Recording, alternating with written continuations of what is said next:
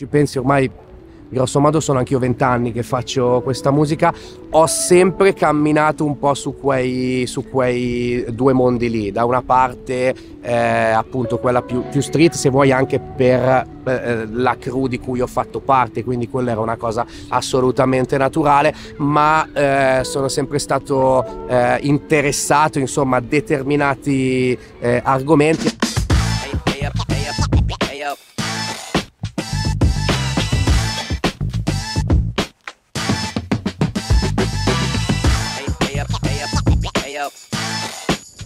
Ted Bundy per L Magazine. Bella Gran piacere, grazie mille a te, grazie mille Sid, bella L, grazie a voi.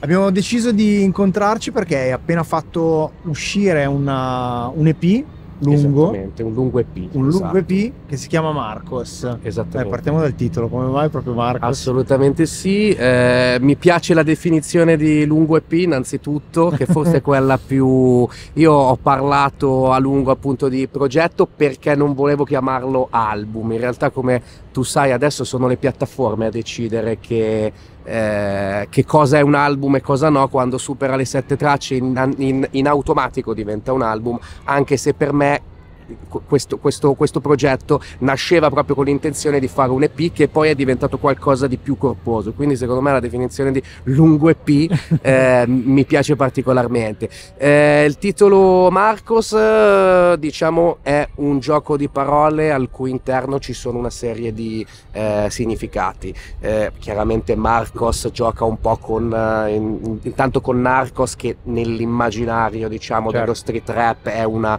eh, figura sempre, eh, come dire, eh, presente in, eh, in, eh, in qualche modo, fa parte dell'immaginario ecco, dello street rap, ma soprattutto Marcos gioca col fatto che Marco è il mio nome di battesimo, Certo. Marco Marcos. e eh, volevo, e si vede insomma fin dalla, dalla grafica, recuperare la figura del eh, subcomandante Marcos. Innanzitutto perché vabbè, nel mio rap c'è sempre stata un. eh, ha sempre avuto un'intenzione, se vuoi, anche un po' divulgativa. Quindi mi piaceva l'idea di, se, nel mio piccolo, provare a eh, far conoscere magari ai più giovani questa figura che. Per la mia generazione era importante, nel senso che era una figura suo modo mitica, era un po' il Che Guevara della nostra generazione. Oggi mi sembra che sia stata invece un po' eh, un po' persa. E come figura io la considero parecchio, eh, direi, eh, attuale nella sua inattualità, se mi permetti questo gioco di parole, nel senso che, eh, come dire, a partire dal fatto che eh, del, del passamontagna, no? al giorno d'oggi in una società invece dove si tende, come dire, a eh, pubblicizzare ogni aspetto della vita anche eh, privata, il fatto che non si sappia bene quale sia l'identità che si cela dietro questo passamontagna, secondo alcuni era un, um, un docente di, di filosofia, quindi qualcosa di attinente anche ai miei, miei studi, un altro insomma punto di contatto.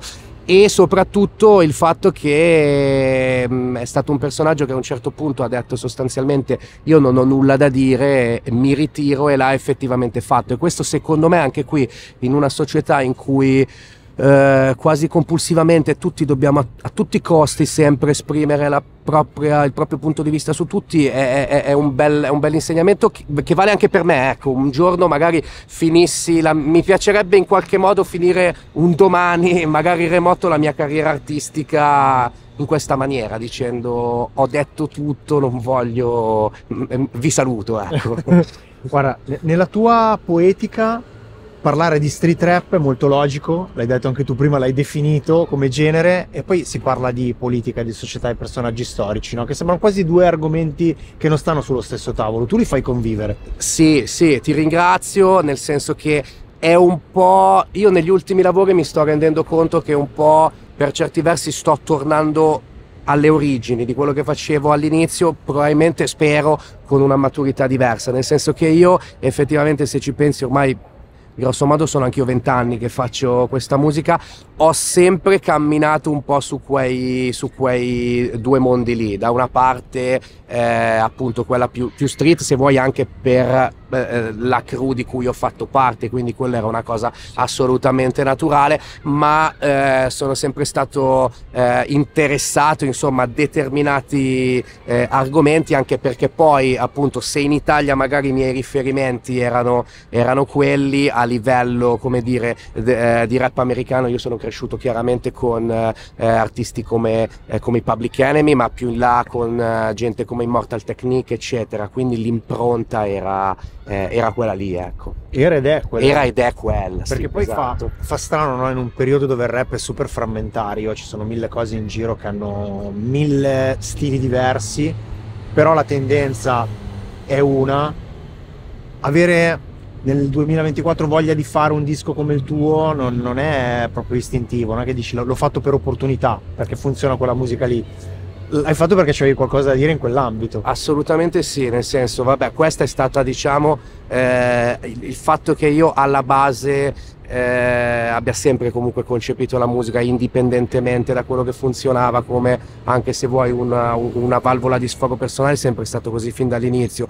Però sono d'accordo con te su quello che eh, sulla se vuoi lettura che dai eh, di quella che è la, la, scena attuale. Perlomeno io al momento vedo ehm, due tendenze dominanti forse, for, forse sbagliando però da una parte eh, io vedo che c'è una, una, sorta, perlomeno in Italia, di pop che è molto assimilato al, eh, che si è molto assimilato al, al, pop o viceversa, poi dipende dal punto di vista e quindi molto sicuramente attento alle, alle esigenze del mercato che poi personalmente è anche una, eh, una via appunto che a me ehm, interessa relativamente, ecco, seguo anche poco, eh, pur rispettandola ovviamente. Dall'altra parte, secondo me, eh, io vedo che esiste un, um, un underground che secondo me ha avuto un certo tipo di underground che secondo me ha avuto il merito di eh, eh, riportare in auge e nobilitare, rinobilitare in un certo qual modo proprio il rap fatto in una certa maniera, probabilmente un po' assorbendo la lezione che veniva in America da, dal mondo Griselda, sì. eccetera. Che però, ehm, se posso permettermi, come dire, una veramente velatissima critica, e poi è nient'altro che un punto di vista, spesso ho l'impressione che sia un po' l'altra faccia della medaglia di quella prima via, cioè nel senso... Eh, produzione in serie di, capito, di, di, di, di strofe, eh, un po' sempre quella logica da eh, consumo da fast food, capito? Sì. Una mh, mm, robe anche magari produzioni, strofe, album fighi che però magari perlomeno a me non capita di, di dire ho la necessità di riascoltarla quelle dieci volte come si faceva. Secondo me c'è una terza via, ecco, possibile che poi se vuoi è la via, quello che dicevi te, è una la, la, declinazione naturale del rap, che è quella del, del concetto, del, del, messaggio, che poi non è necessariamente appunto quello che eh, faccio io, nel senso o anche soltanto per forza trattare di tematiche sociali o politiche o mm, chissà o che cosa, anche, o storiche, ma è anche la via di qualcuno che magari eh, sceglie di, non so, la via del, del conscious rap piuttosto dello storytelling, cioè quella cosa lì si può fare in, in uh, quella terza via, secondo me si può permettere, permette poi di percorrere sua volta un'infinità di sentieri diversi. Certo, che poi fa parte della libertà del fare musica che non, non deve mancare neanche se, se, c'è un mercato dietro che ti dice cosa, fa- cosa dovresti fare. Esatto, quello è la base. Hai voluto un po' di compagni di viaggio, un po' di penne che ti accompagnino in questo viaggio. Esatto, infatti io mh, quando ti dicevo che questo lavoro nasceva come un EP, era proprio quello, cioè il eh, se vuoi concept, non so come dire, eh, era proprio quello di fare un EP eh, della serie eh, Pavarotti and Friends, no? cioè Ted B and Friends, mettere insieme cinque, cinque, tracce ognuna di queste proporle a un artista che stimo o, che, o di, cui, di, cui, sono amico e insomma eh, vedere come, come, come, andava.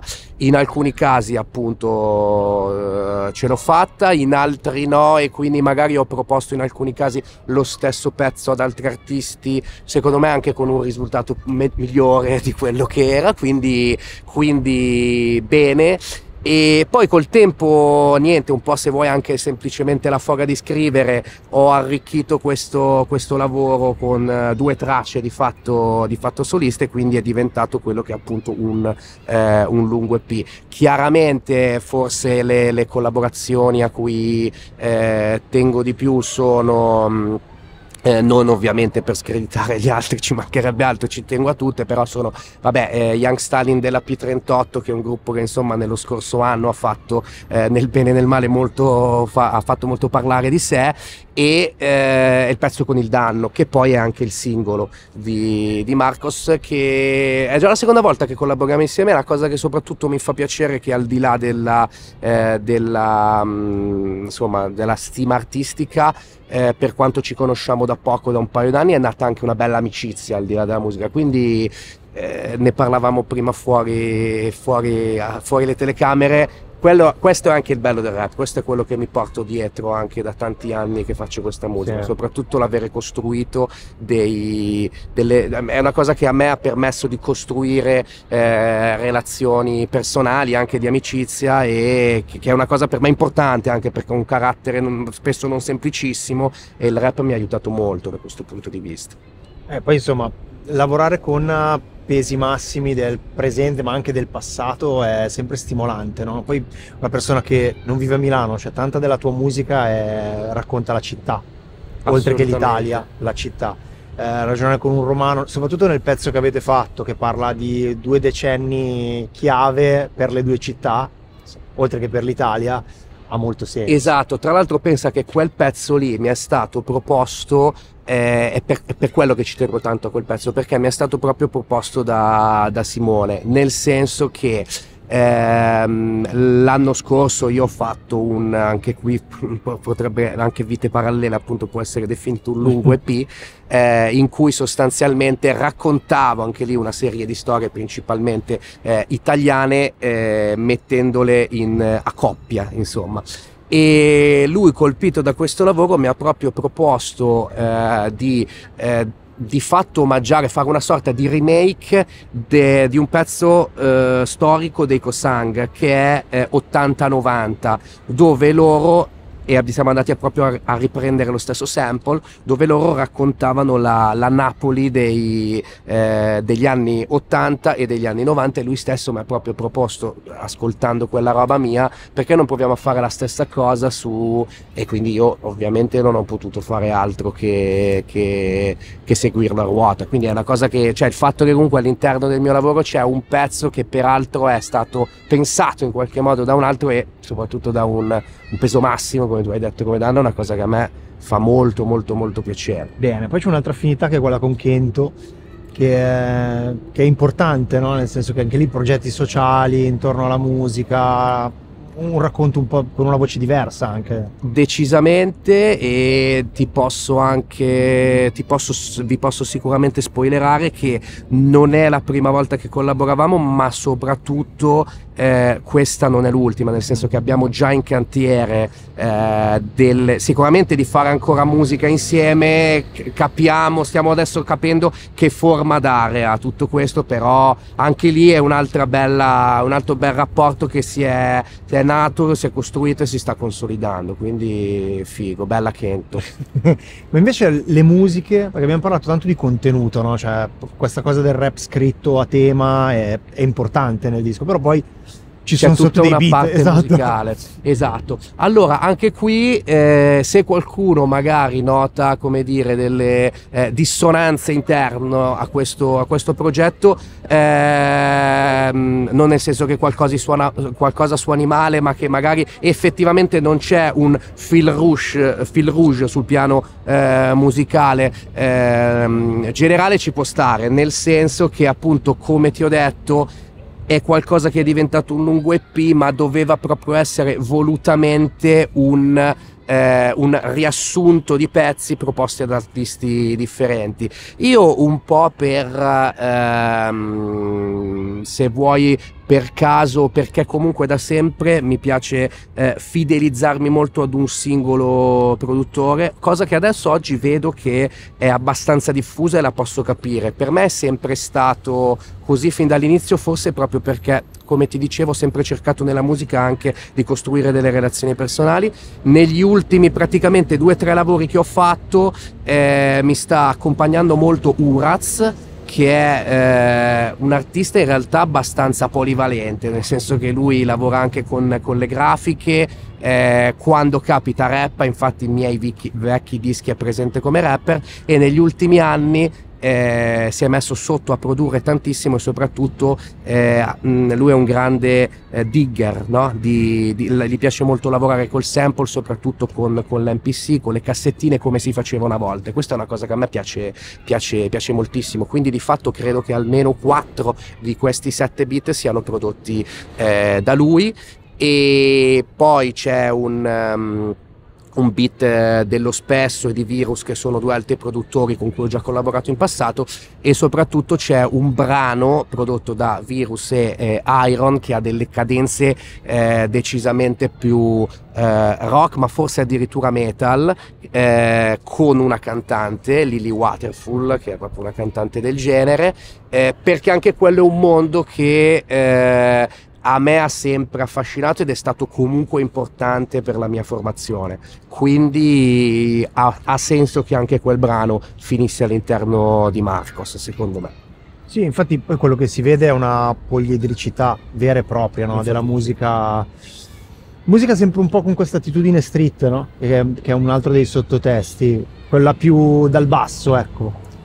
Sì, decisamente, decisamente sì, anche perché comunque eh, è, è, è, quello che so fare che è quello più, che, più, che più mi rappresenta e, e, e, mi fa piacere appunto che venga anche, che venga anche riconosciuto, quindi assolutamente no, sì. è, è, un fil rouge sempre della tua maniera di fare le cose, no? sappiamo la tua passione per lo stadio, la tua passione per la politica e soprattutto quello che la politica poi fa vedere attraverso la strada, attraverso la la lotta, la manifestazione della, del, sentire, del, sentire, politico. Esattamente. Per cui ha tutto senso che sia poi hip hop, punk rock o metal in una certa maniera diventa, va in secondo piano quella sì, cosa. Sì, è vero e poi soprattutto io sono anche cresciuto in un'epoca in cui tutti questi mondi eh, rappresentavano esattamente quella cosa, quella cosa di, di, di, lotta, erano generi proprio definiti, eh, a me piace anche molto il termine eh, controculture piuttosto che sottoculture.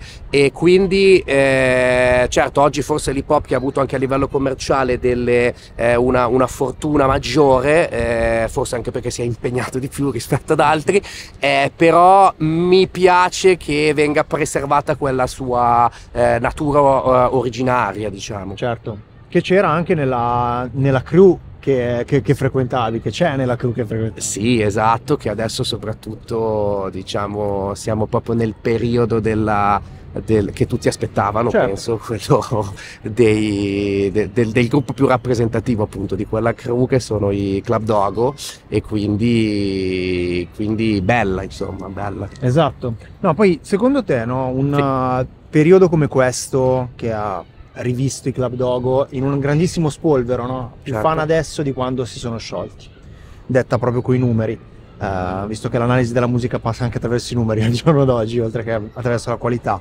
Uh, quanto può influire sul tuo lavoro una cosa del genere? Cioè, secondo te l'eco di risonanza di una cosa del genere. Si può riflettere anche sul tuo e quindi diventare un meccanismo virtuoso di... Allora, eh, ti dico, intanto anch'io, io penso che non mi aspettavo... Aperta, no? Sì, sì, sì, non mi... Eh no, guarda, ci arrivo nel senso che io non mi aspettavo neanche io questi, questi numeri, tanto che pensavo, cacchio, eh, chissà se la nuova generazione conosce il, il repertorio dei, dei, club d'oro perché forse spesso evidentemente erroneamente guardo a quella che chiamano Gen Z credo come qualcosa di molto legata capito al, al, all'adesso no? al, al lick nunc però evidentemente non è così e, e, appunto lo dimostrano i dati dei concerti ma soprattutto eh, come hanno reagito ai, ai concerti e eh, questa cosa può avere un eco, può avere un'onda lunga.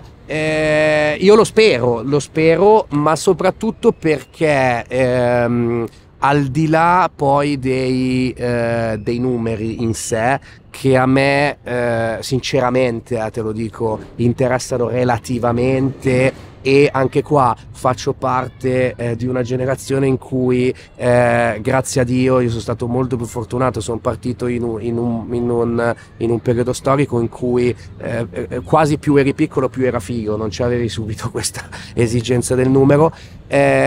Ma eh, diciamo quello che mi mm, che spero di sì, ti dicevo non tanto per i numeri quanto perché una delle mie aspirazioni ogni volta che faccio musica è proprio per le ragioni in cui ti dicevo prima è che eh, la mia musica rimanga il più possibile. Quindi il fatto che magari qualche ragazzo di, che, che, magari quando ho iniziato a rappare eh, ormai non era nemmeno nato, eh, venga a sentire il mio disco di, che è appena uscito, Marcos, o vada a recuperare le cose che facevo uscire quando nasceva, eh, per me è una grande vittoria quella ed è una cosa che mi, mi, mi riempirebbe molto. Ecco. Grande, grande Marco, grande, grande Rido, grazie a te, grazie mille. A presto.